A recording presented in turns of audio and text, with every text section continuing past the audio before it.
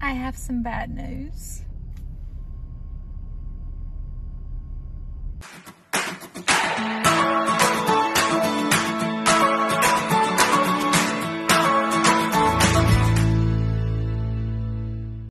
So I got up this morning, 5:30, went and did all my farm chores. Then I had to jump in the car and take my dad to the hospital.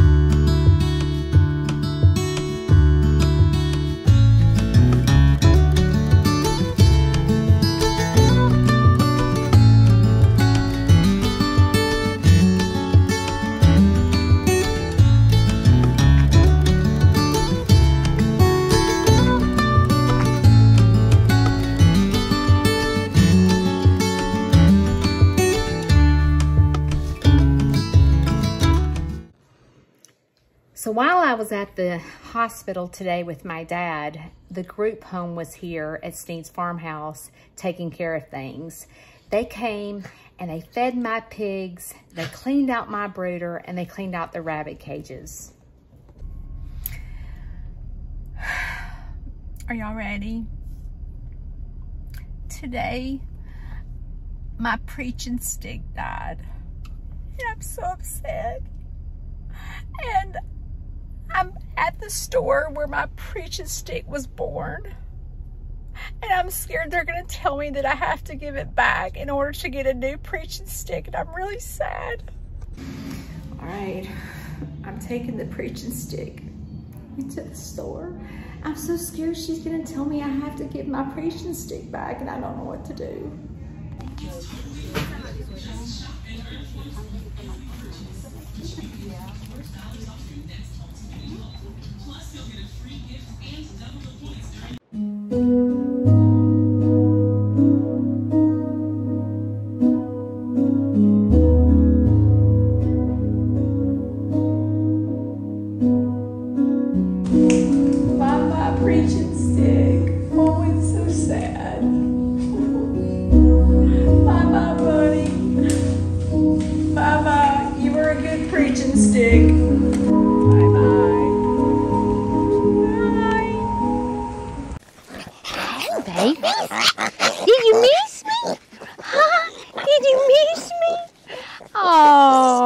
I missed the piggies. I did.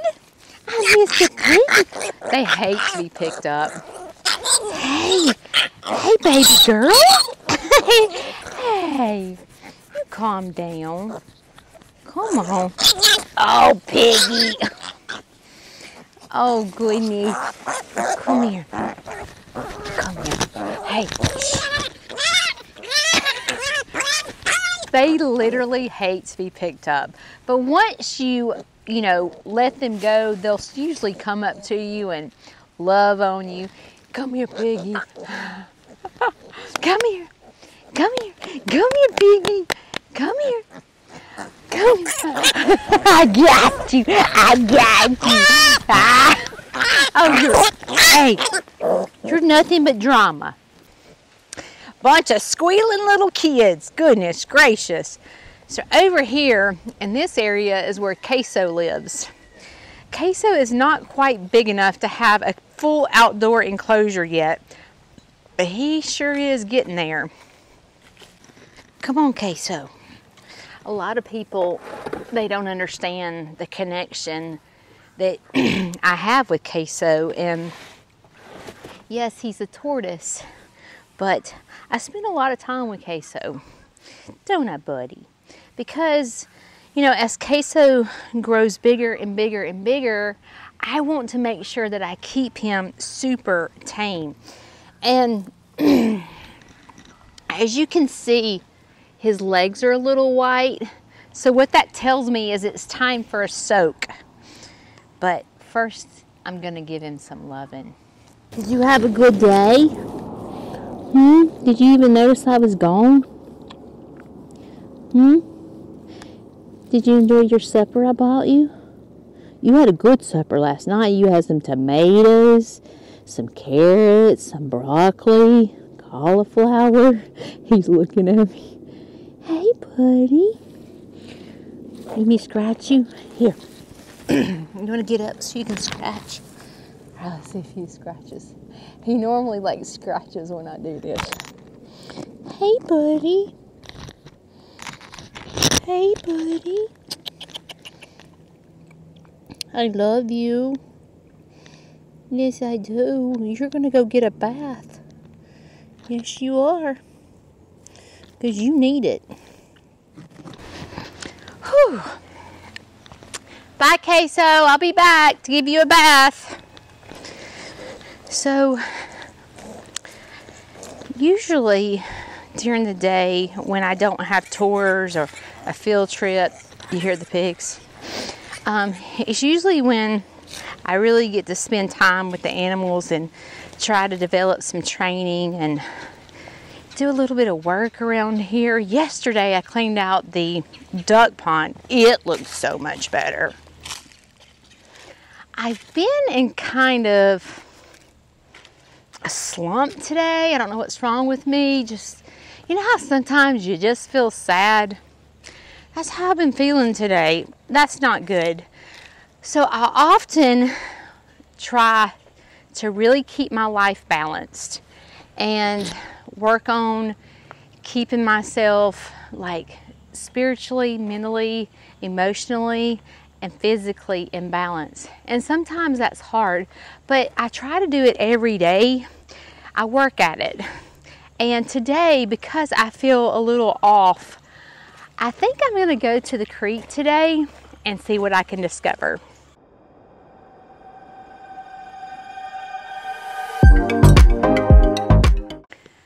So I'm here on the trail and I'm going to walk to the creek and I thought I would take you along. And as I walk down this trail, I think about this trail being a trail of, of life and how you have choices in life to sit it out or to dance, and how I try to encourage you guys to dance every single day. I'm coming up on the creek. Coming down here to the creek gets me to mindfulness pretty fast.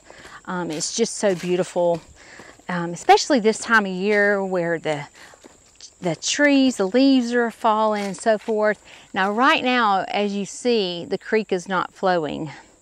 It does when it's hot, it will uh, dry up a little bit, but it's still beautiful. See how gorgeous? We have plenty of river rock. So this is one side of the bridge. Here's once again where we're going to put the cabin, considering the putting the cows down here. And here's the other side of the creek. Just gorgeous. So right now, I'm going to just look for something that not what am I looking for? Let me think about what I want to look for. I want to look for something that gets my mind off what's all happened today. So I'm just going to explore and see what I come up with. Okay, first is this this footprint. I'm thinking a raccoon. That's what I think. But look at this footprint. I'm thinking a coyote. I don't know. That's what it, it reminds me of. We do have a lot of coyotes down here. Shane did put a coyote trap over here. So if I see a coyote, I'm going to. if I drop the camera and just start screaming, y'all know why. All right, let's sneak over here. Gosh, Shane needs to bush hog. Maybe I need to get on the tractor and bush hog. All right, I do not see. Let me show you his little concoction. He's so funny. He cracks me up. This is his little booby trap for um, for coyotes. Okay. this is his plan. Okay, this is what it looks like. So he got sticks and he built up sticks, but he see how he left a hole right there? So, okay. There has to be some type of trap over here, Lord. I'm going to come over here and get trapped in. Okay, did he take the trap down? Let's see. I don't see he had this little trap that traps the coyotes in there, but I sure ain't gonna go through that hole to try to figure it out, but I don't see the trap. So maybe he took it down. Thank goodness he took it down. That's all I gotta say. Because if I'd have walked, right now I'm walking in the water. So I saw, you hear the water? I'm walking in the middle because I saw this beautiful, look, isn't this pretty? I don't know what it is, but it sure is a pretty flower. And it looks like it has like, it looks like a raindrop. I know it's not, but that looks like a raindrop. So pretty. So oftentimes I come and sit right there and just put my thinking cap on. Isn't that a scary thought? And just try to think about what God wants me to do with my farm and making sure that I'm doing all that I'm supposed to be doing to be given back. I want to share with you a story today. And I'm going to sit here on this rock and tell you the story. It's very emotional to me, so let's hope I don't cry. Okay. Often, you know, I have no idea how God's going to use me uh, with this farm. And every time I think that this is the way He's going to use me, I find Him using me in all different ways that I never even dreamt of. But today I received a phone call about an orphan. And I pray I can make a difference in his life. So be praying for me as well. It's very emotional. Uh, a lot of times when I get phone calls from people uh, telling me that their child needs their Aunt Judy or grandchild or whatever, and they reach out to me, and um, I just, I just hope that I always give back. I, pr- I pray that as my page grows and I grow, I pray that I'm able to reach more and more people that need love.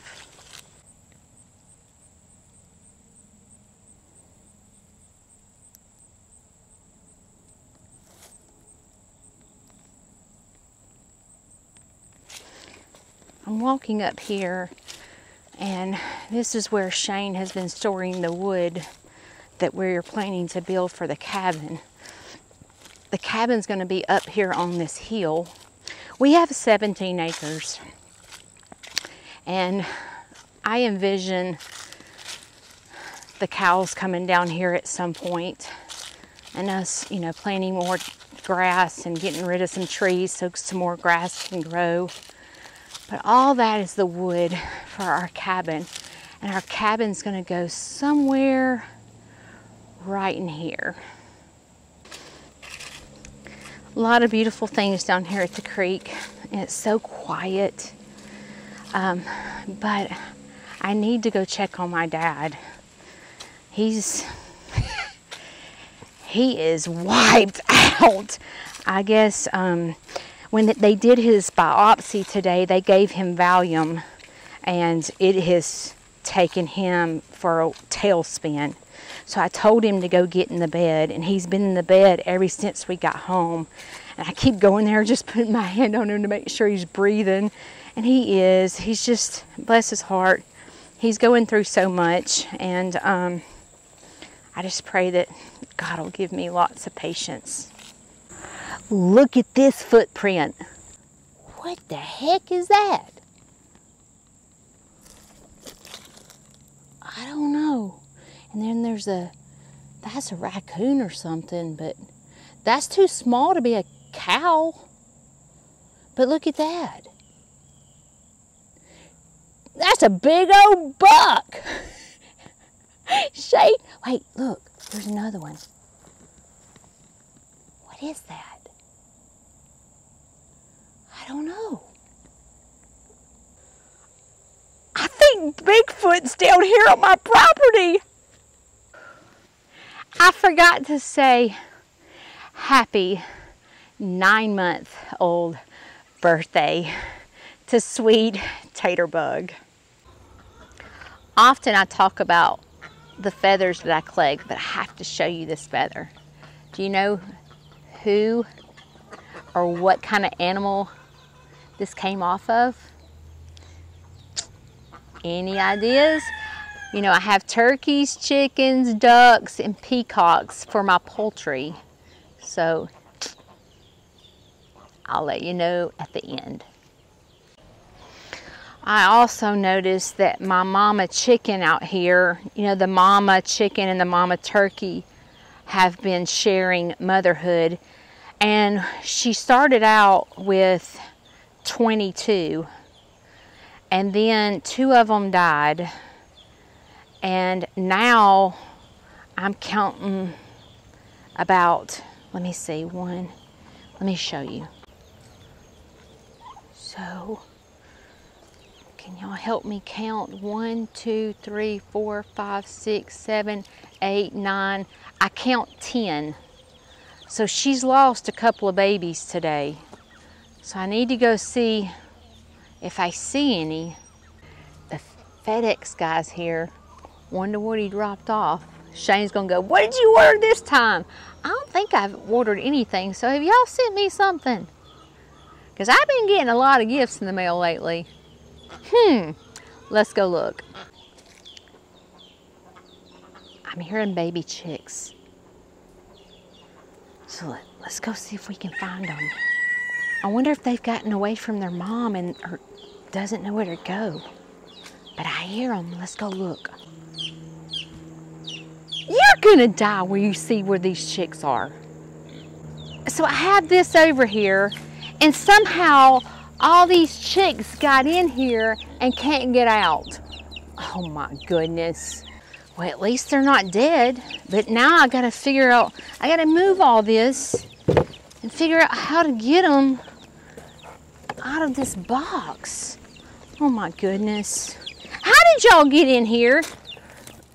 Oh, I guess, I guess I'm gonna have to move all this wood. How in the world. I knew I heard baby chicks.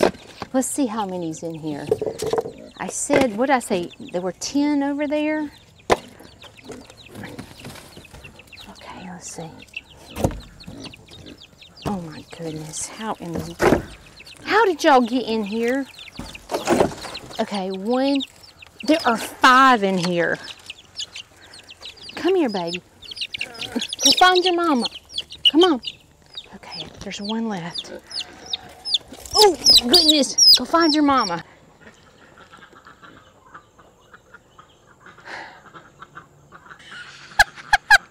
How in the world, those little rascals? So I guess she hasn't lost any. Why I never leave my farm because see, they'd have been stuck in there with no food and water all day. The other day on one of my lives, I talked to y'all about molting. I told you about this chicken that is so ugly right now. And it's a frizzle chicken. And I want to show you what she looks like. Look at her. Oh my goodness, she's, God love her. Look. Is that not awful? It's so, don't tell her she's ugly though, because she'll, she'll get her feelings hurt. You look so pretty, baby girl. You gonna get those feathers back. Yes, you are. So this feather is a peacock feather. Isn't it beautiful? So much you can make with that. All right. You subscribers are so good to me. Thank you so much.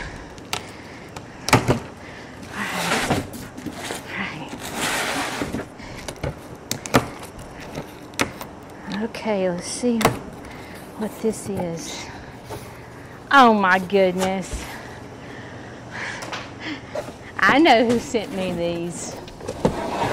So, these are chairs for my education center so that kids can sit on them. And there's five. No, there's four. Thank you.